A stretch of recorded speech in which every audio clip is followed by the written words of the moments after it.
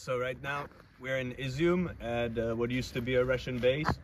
Before they uh, they left or ran away, the Russian army spread misinformation that they left uh, deliberately, that it was by their own choice.